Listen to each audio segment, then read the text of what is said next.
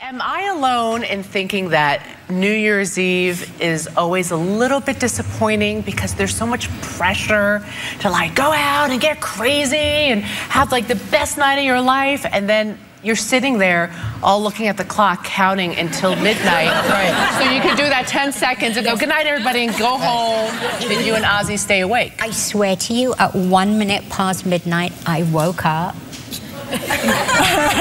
woke Ozzy up, we kissed, cuddled, and went back to sleep. Nice. Okay, Leah, get up yeah. on this table, and this is what we was doing. Come on, this is what we was doing.